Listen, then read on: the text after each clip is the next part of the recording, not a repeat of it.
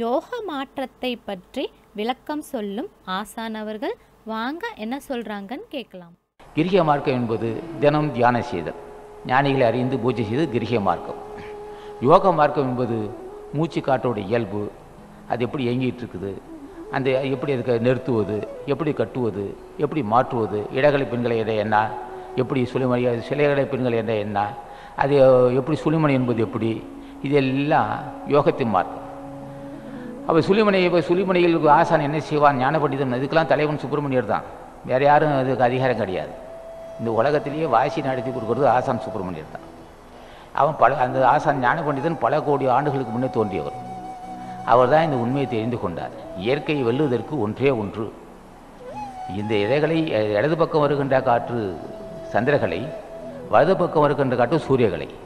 ரெண்டும் சேர்த்து புறம்பு தோடுகின்றால் சுழிமுனை இந்த இயற்கை இதே இயற்கை தான். உலகம் தோன்றியிருந்தே இந்த மூச்சு காற்று வந்துக்கிட்டே இருக்கு. நம்ம பிறக்கும் போதே நாம் மூச்சு காற்று விடுவோம் வாங்குவோம். ஆனால் இந்த காற்றை முறைப்படுத்தி புறம்பத்தி செலுத்துவது சுப்ப சுப்பிரமணியர் தான். அவன் ஆசை இல்லாமல் அசைக்க முடியும் ஒன்றுக்கு செய்ய முடியாது. அவன் எப்படி அருள் செய்வான்? ஆசை ஞான பண்ணி அருள் செய்யணும் ஞானிகள் எல்லாம் தினமும் பூஜை செய்து வந்த புண்ணியம் பெருகினாலும் அருள்பலம் பெருகினால் ஆசான் இறங்குவான். இறங்கி நம்மோடு சார்ந்திருந்து என்ன செய்கிறான்? தொடர்ந்து வருகின்ற பிறவிக்கு காரணமான காமத்துக்கு காமத்துக்கு காரணமான ஊனை உருக்கி விடுவான். அதுதான் அவருக்கு வேலை. ஆசானுக்கு அந்த அந்த ஆற்றல் உண்டு. அவருக்கு தேகம் காமமற்ற தேகம். நம்ம தேகம் காமம் உள்ள தேகம். அப்போ என்ன செய்கிறான் நல்வனை பெருகிடுச்சு. நேரம் வந்துடுச்சு அவனுக்கு. சரி இவனுக்கு வாசி நடத்தி கொடுத்தால் இருபத்தஞ்சி இருபத்தாறு வருஷம் உப்புலாமல் சாப்பிடுவானா? இல்லை பெண்கள் நாட்டம் இருக்குமா? அது பொருள் வெறியை நான் மாறுவானா? ஜாதி வெறியை நான் மாறுவானா? இல்லை யான் என்று கருவம் கொள்வானா? சரி இவனுக்கு அருள் தந்தால் யாரேன்னு பஞ்சபராரி ஏழை எளியவன் பகைவர்கள் எதை செய்த உடனே சபிச்சிருவானோ? என்று பார்க்கிறார்கள் சரி இவனுக்கு அந்த பக்கம் வந்துடுச்சு யார் என்ன பேசினாலும் சரி காரி துப்புனாலும் சரி துடைச்சிக்கிட்டு போகிற அறிவு வரணும் அவன். பக்கம் வந்துடுச்சு அவனுக்கு. அவன் அந்த இது பேசினான் இவன் இது பேசினான் அவன் கொடுமைகாரன் அவனுக்கு அழியணும் இப்படியெல்லாம் நினைப்பு இருக்காது. கடைசி எல்லைக்கு வந்துடுவான் அது செய்ய முன் செய்த வினைக்காரமாக பேசுகிறான் போடா தள்ளிடுன்னு நினைக்கிறான்.